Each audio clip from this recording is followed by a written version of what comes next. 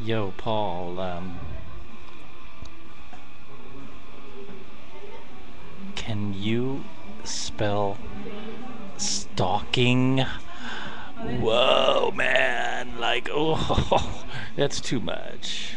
That's too much. Don't even, don't even talk to him, please.